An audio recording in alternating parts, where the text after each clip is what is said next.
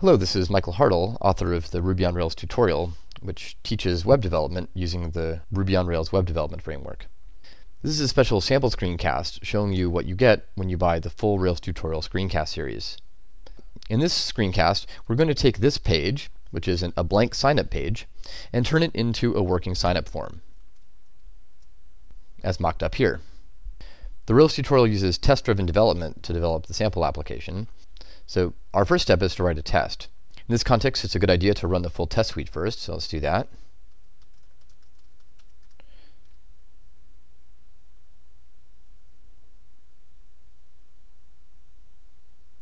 All right, that verifies that we're green.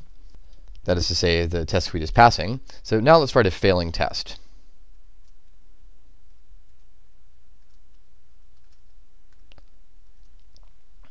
We'll be using RSpec to describe the behavior of our application. So what we want to do first is uh, say that we're going to describe signup.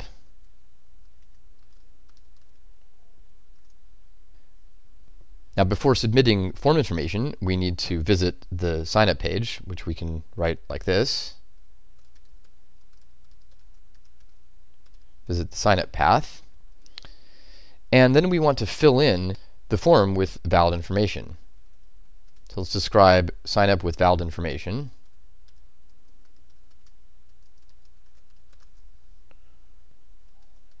And before submitting the form, we need to fill in this information. Fill in the name field with the valid name. So let's just say with example user. Fill in email with a valid email address, let's say uh, user at example.com.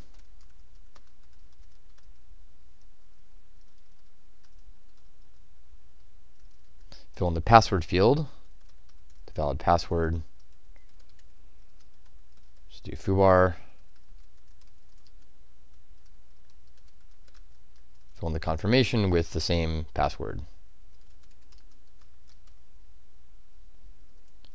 So what do we expect will happen here? Well, when we submit the form, it should create a new user. That is to say, it should change the number of the users in the database by one. We can write that in our spec as follows. Expect click button. And we're going to uh, click the uh, submit button, which is in this case called create my account. That's a little long, so let's create an auxiliary variable for it. I'm going to let submit be the text in the submit button. Create my account. So click button submit. And what this should do, this we expect this to change the user count by one.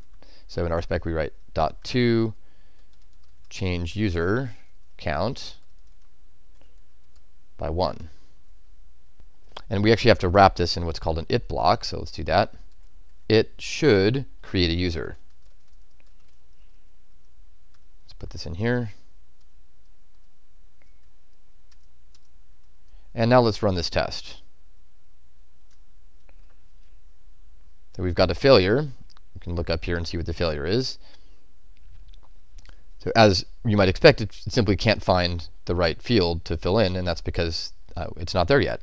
So, but at this point, we've got a failing test. Once we get this test to pass, we ought to have a working form. Let's take a look at the current state of the page. The signup page is at uh, new.html.erb in the users directory. Right now it's just provide title, signup, and then a top level heading. So it produces this page. Our first step is to make a form for accepting uh, user signup data. We'll start by making a couple of HTML divisions, or divs. This is mainly for styling.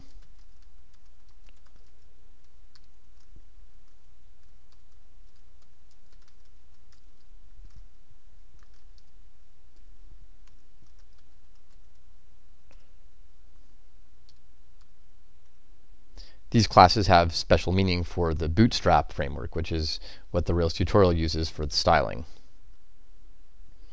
And now we'll use the form for method provided by Rails to create a form for making a new user.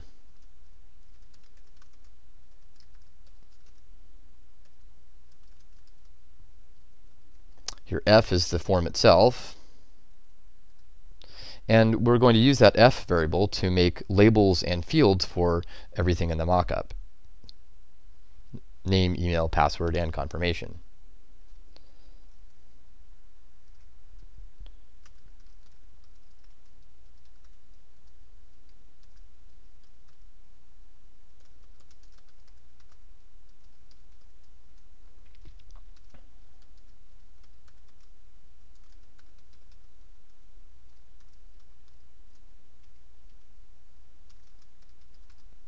Hit escape there, by the way, to autocomplete text field. So both the name and email address are text fields. Uh, the password and its confirmation should be password fields.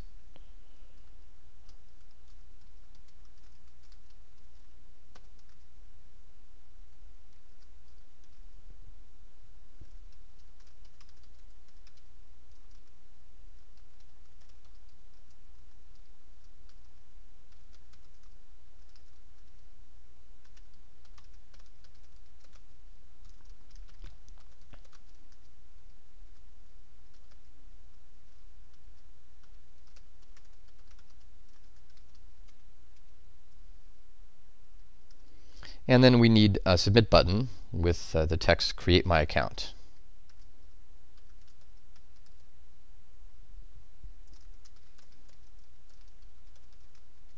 And we'll give this uh, a few CSS classes.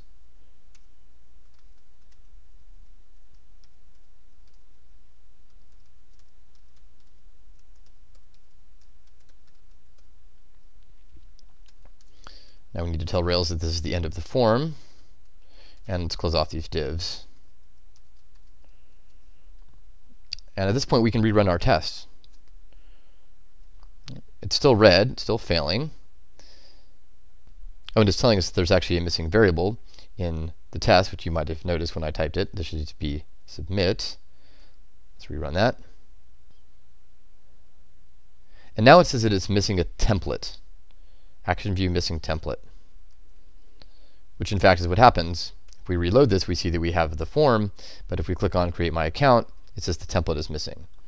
And that's because what's happening here is that Rails is going into the user's controller, and it's hitting this create action. When, when we submit the form, it's going to create. And by default, it's looking for a template corresponding to create, but there is no template. There is no web page corresponding to this create action. So if we fill in this create action with the right code, then we should have a working signup form. The first step is to make a new user. User.new, and we're going to use the params hash that Rails uses to pass around form parameters. And then we'll try to save this user to the database. If we can save the user, if at user.save, then we're going to redirect to the user's profile page, which we can do using the shorthand redirect to at user. Else, if the save doesn't succeed, then we want to re-render the signup page, which is just the new action.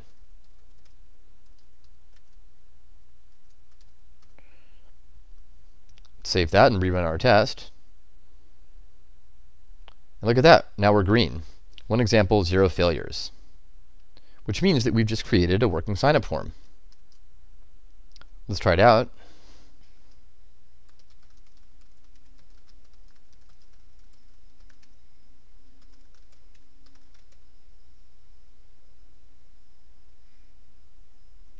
And there we go.